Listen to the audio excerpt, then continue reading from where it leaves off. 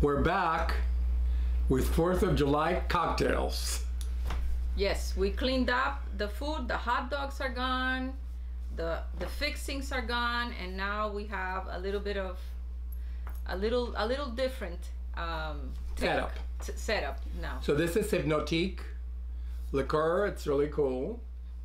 It's like a uh, very light green type of uh, drink, and, and it's and great. tell them what it is. What it's yeah, it's of. actually made up of, um, let me see, a refreshing blend of premium French vodka, infused natural fruits, flowers, and a touch of cognac. It's a product of France. And this is Hpnotiq, which one? But which one? Because the other one is also Hpnotiq. This is Harmony. Harmony. Okay. Harmonie liqueur. liquor. Okay. And then we also. Which is yours? No, I'm gonna have a little bit of the Sutter. Well, the what is it that you're having? Uh, we also have Grand Marnier lic- liqueur, which is cognac, and orange liqueur is also French. But uh, this we use to make um, when we make the cosmopolitans. Yes, that's make true. cosmopolitans. That's a key ingredient. It's a key ingredient with For the vo- cosmopolitans. The vodka. So this, but no. Ooh, that's nice. Yes. And we're also going to, we also have here a bottle of the Sutter Home Moscato, which is a sweet wine. Personally, I like sweet wines, so I'm gonna have a little bit of that. So I'm just going to read this. This is kind of fun. And this is just for the 4th of July. These Some are. fun facts, right? Fun Yeah, these are like very uh, 10, 10 things you didn't know about 4th of July. Uh, the Declaration of Independence wasn't signed on July 4th or in July at all. No? Nope. No such scene with all the delegates present ever occurred at Philadelphia. That's that famous painting with the signer, you know, signing of the independence. Oh, so that was wishful thinking. Yeah. So it was a glorified Right. View of what the day would have been like. The first celebrations, number two is the first celebrations were much different than today's. The evening was closed with the ringing of bells, and at night there was a grand exhibition of fireworks, which began and concluded with 13 rockets on the commons because of the 13 colonies, mm-hmm. and the city was beautifully illuminated. Everything was conducted with the greatest order and decorum, and the face of joy and gladness was universal. That's one of the writers of the era writing that in the local That's newspaper. wonderful. And we still use the fireworks. So they're still Absolutely. Still Number three, eating salmon on the 4th of July is a tradition in New England. salmon on the fourth. Yes. Number four, Massachusetts was the first state to recognize the holiday. It says they recognized the 4th as, as an official holiday on July the 3rd, 1781. Remember, they signed it in 1776, making it the first state to do so. The oldest annual 4th of July celebration is held in Bristol, Rhode Island. 85 years before the 4th of July was even recognized as a federal holiday, one tradition began that continues to today. Billed as America's oldest 4th of July celebration, the town of Bristol, Rhode Island, has been doing Independence Day right since 1785. Wow. Number six, the shortest 4th of July parade in Aptos, California. From the oldest to the shortest, the 4th of July in Aptos, California is just a hair over half a mile long, taking up to city blocks and measuring just 0.6 miles. Wow. This brief bit of patriotism features antique cars, decorated trucks, and plenty of walkers. Number seven. Which goes to show that you don't have to go miles and miles and miles No, to have in your backyard. items. Right. It's in your backyard, Dorothy. That is that is true. Yes. No place like home. No place like home. Click your heels. There are around 15,000 Independence Day fireworks celebration every year. According to the American Pyrotechnics Association, around 15,000 fireworks display will take place for the 4th of July holiday. Though pricing varies, most small towns spend anywhere between 8,000 to 15,000 for a fireworks display, Wow. which larger cities going into the millions, like the Boston Pops Fireworks Spectacular, that averages more than 2 million. Ooh. Eight, will eat an obscene amount of hot dogs. Around 150 million to be more specific. That's how many hot dogs will be consumed by Americans on the 4th of July. We ate our share today. We ate four of them, plus we have some left. Correct. Number nine, and we'll spend billions on food. Americans will spend big on food and drinks this fourth. Big to the tune of around 6.7 billion when all is said and done, according to the National Retail Federation. Then comes the booze. According to the Beer Institute, more beer is sold on, on or around the 4th of July holiday than during any other time throughout the year. Really? Generally, Americans spend around 1 billion on beer for their fourth celebration, some more than 560 million on wine. Let's go out for beer tomorrow. Absolutely. 10. Three presidents have died and one was born on the 4th of July. You probably know that both Thomas Jefferson and John Adams died on July the 4th, 50 years to the day after the Declaration of Independence was adopted. They're not the only presidents who have died on the 4th. James Monroe, the nation's fifth president, died just a few years later on July the 4th, 1831. Uh, the country's 30th commander in chief, Calvin Coolidge, Coolidge, was born on July 4th, 1872. So, those are just some fun facts on July the 4th. Okay. Oh, these are the ones I was also looking at earlier today. You see, this is the list. This list is great. Only John Hancock actually signed the Declaration of Independence on July 4th, 1776. Everyone else signed later. The Declaration of Independence was signed by 56 men from the 13 colonies. The average age of the signer of the Declaration was age 45. Benjamin Franklin being the oldest at 70, and Thomas Jefferson the youngest at age 33. One out of eight signers of the Declaration of Independence were educated in Harvard. One out of eight. One out of eight, yeah. The only two signers of the Declaration of Independence who later served as president were John Adams and Thomas Jefferson. Mm-hmm. The stars on the original American flag were in the circle, and there were 13 stars for 13 colonies. That was the first flag. The first Independence Day celebration took, took place in Philadelphia on July 8, 1776, with the ringing of the Liberty Bell summoning the people. The White House had held its first 4th of July party in 1801. President John Adams, Thomas Jefferson, and James Monroe all died on the 4th, as I said previously. Benjamin Franklin, by the way, proposed a turkey as a national bird, but was overruled by John Adams and Thomas Jefferson, who recommended the bald eagle. Yes. Let's drink to that.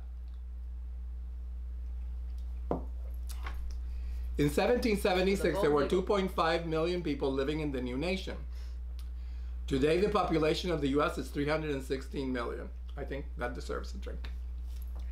We'll drink to that.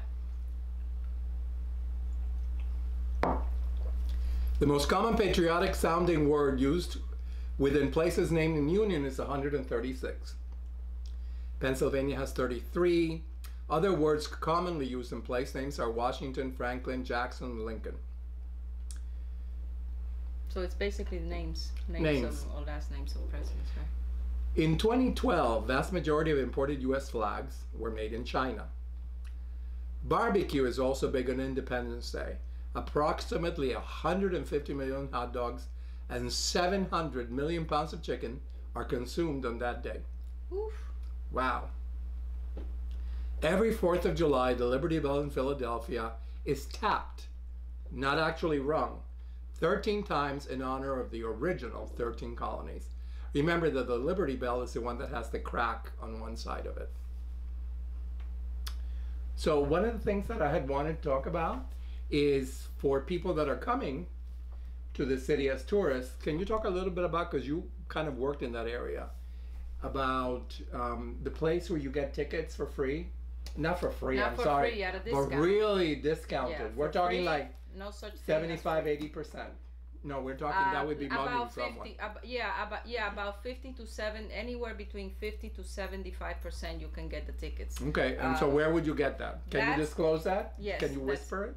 yes i can that's in the um in uh, in the t- the booth is actually in um Is it on 44th or 46th no Street? 46 and 7th Okay. 40, between 46 and 47th and it's right on 7th avenue Wow. It's in uh, where they drop the ball Times Square. in Times Square. So it's right in Times Square. It's in a street that actually looks like a triangle.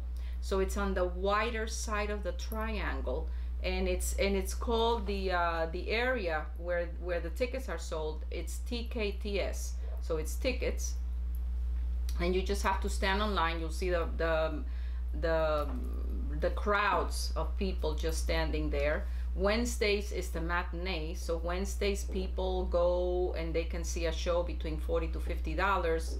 A seat that's like a hundred to hundred and fifty dollars. So Wednesday is a big Broadway day. But uh, for tourists who you come in and you can go any day of the week, then you if you go to this window, you can see a show that same day for a very low price and you have a very good seat. so for that explanation, And in that area, that particular area, yes, I know we're gonna drink to that, but in that particular area, you know? a lot of the Broadway, sh- a lot of the Broadway shows are within that area. They're within the 42nd to 49th to 50th, 51st Street. So it's all between between Broadway, 8th Avenue, 7th Avenue. So all the all the um, the theaters are in that area. So you can just, if you want to see even two shows in one day, you can, if you can get I think that deserves a sip. yes, for sure. There we go. Sip. That was a very long explanation. That deserves two sips. I'll Take another one. Yes, let me take a little more Moscato. Okay. I love Phantom of the Opera. That was incredible. Oh my God, that has been that is has been on Broadway for Ever. anywhere between 30 to 35 years. It's the longest, longest for sure running show right now on Broadway. And Lloyd Webber, of course, that's one of his um, one of his musicals. He's such a genius. he has Cats, Sunset Boulevard, And and on and on and on. and on and on and on. He's um He dominates musical theater, he basically. goes from one to the next to the next and it's um he lives in a castle he lives in a castle in, in a castle in England. So, but he's a genius. He's he's just. I mean, the man is is, is a genius. By the way, now they have a new show at the Met. Remember that we went to see the one with um, the Catholic. The, right fashion and the Catholic in- in imagination. imagination. But now they have another show. Do you remember the name of it? the one. Um, That is based upon the, that the pink carpet. The walk on the, the, pink, carpet, camp. camp. It's it's Camp. camp. and it's I think it's on. They have a um, the exhibition. I think runs until sometime in September. I think Right. it runs. But uh, it's about camp, and camp is basically a style of um, of clothing of clo- of clothing uh, and wearing of that. You know the style of uh, wearing that clo- that It's exorbitant. it's over the uh, that edge, clothing, over the top, and it's crazy looking. it's it's anything that's over the edge, uh, very colorful, um, and then the movements are very Exaggerated. exaggerated, exactly. So Lady Gaga was the one who had was the first one on the runway at the Met, Yes, and she she wore this huge voluminous red dress that it was kind of gathered was- and it was a carried by six or like- seven men. it was like a, co- a coat-like item. Well, they they were trying to pass it off as a dress. Right. Then later you find out that she actually has one dress after another, after another, after another. So she actually walked up and down, up and down, a total of four times, and then she ended up with a lost But lane. not only walking,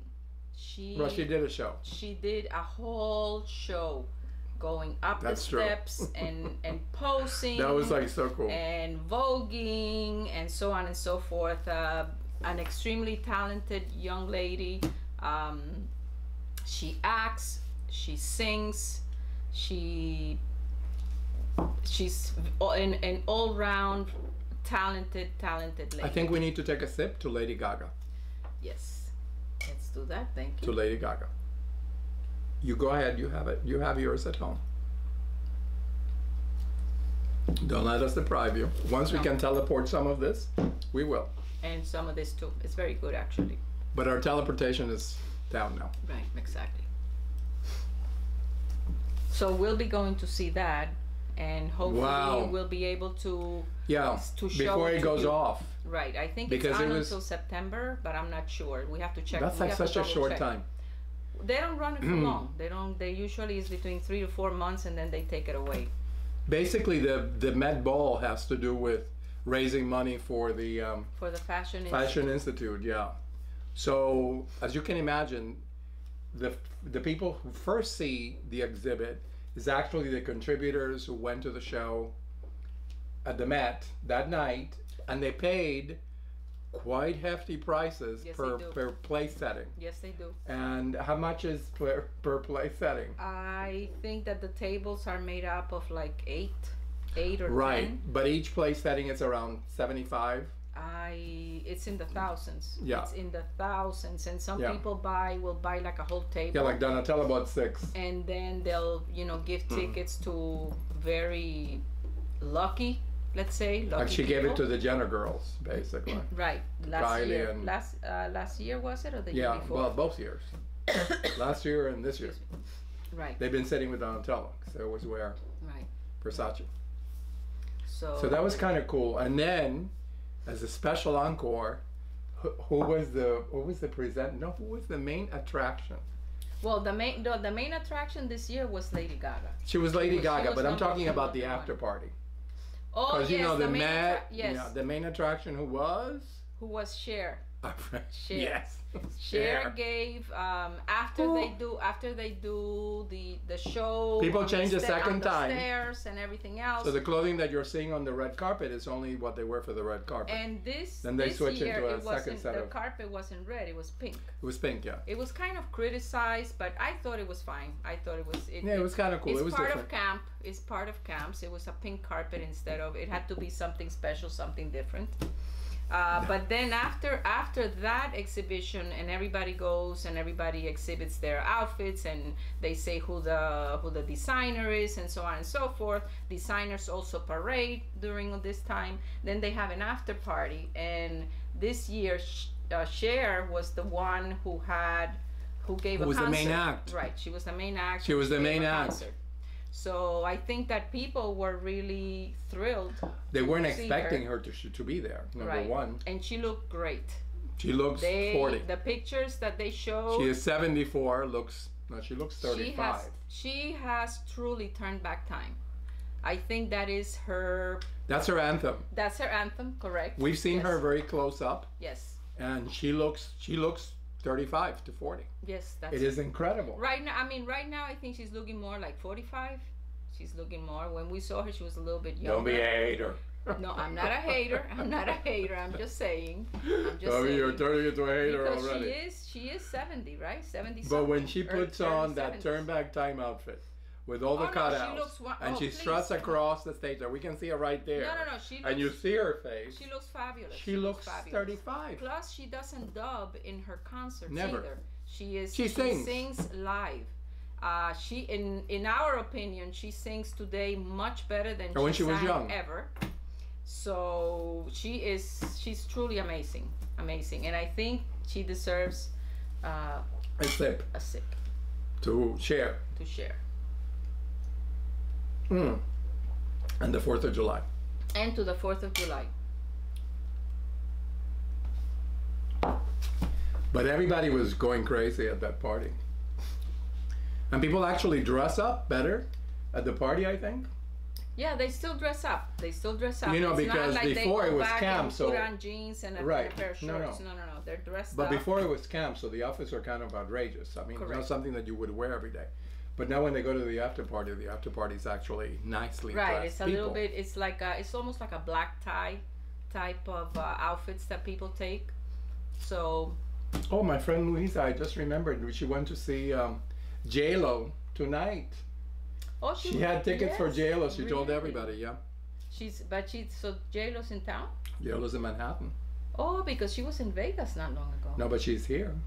Oh okay You know that these people go to Vegas and they come to New York because in New York they make tons of money. and then they t- right then they t- they start touring or Whenever they have a break in Vegas, they come here. yeah that's true And then they go back to Vegas. It's incredible Yes. what money will do. yes mm-hmm. Take a sip. to j-lo Today, J Lo.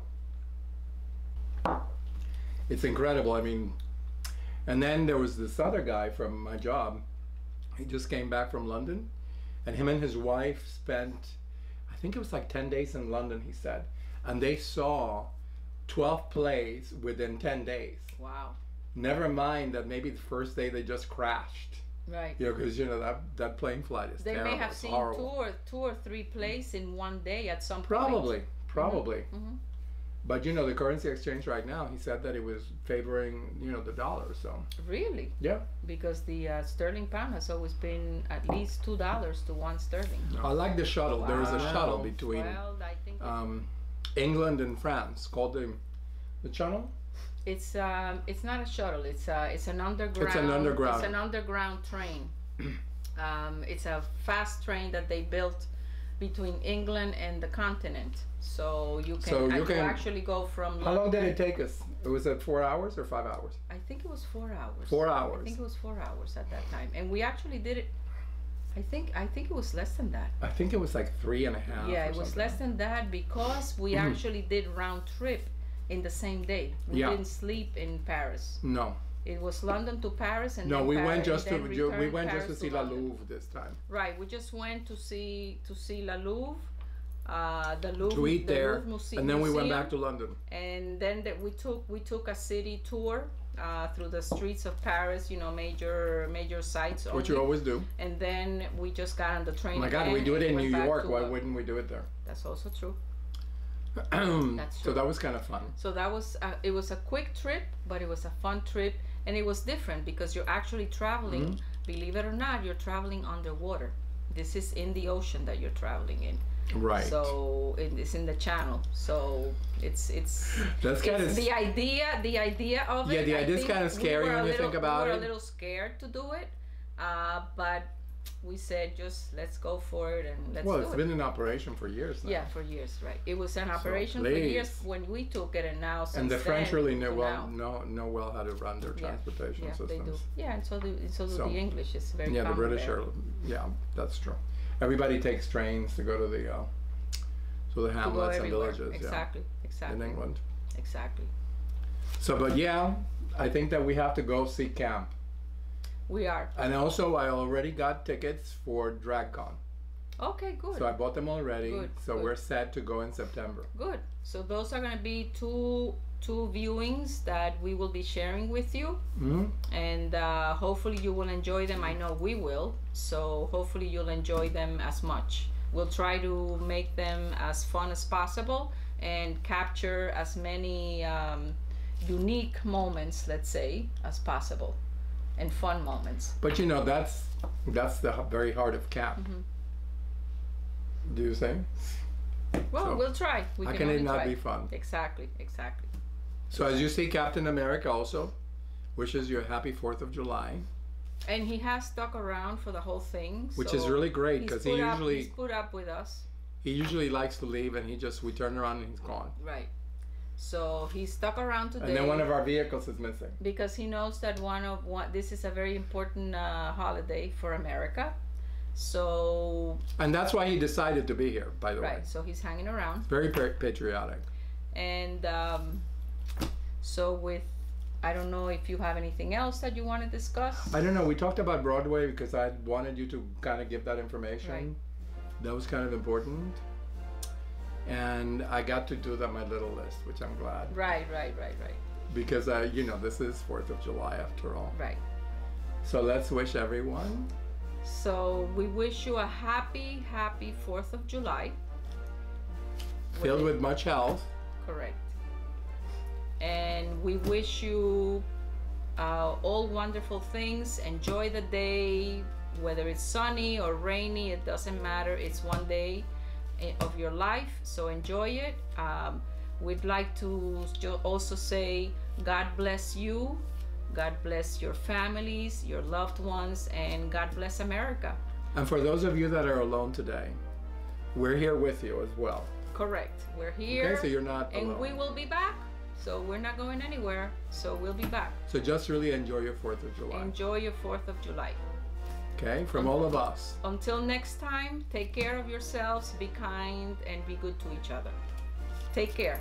Bye. Happy Fourth of July. Happy 4th.